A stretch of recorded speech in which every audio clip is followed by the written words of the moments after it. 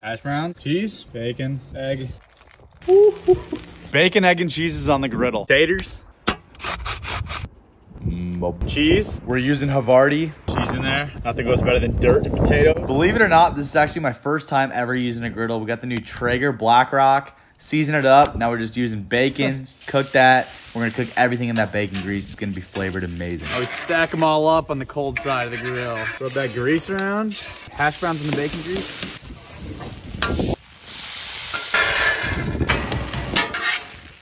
Infused with cheese and cooked in bacon grease. These hash browns have an insane crust on them.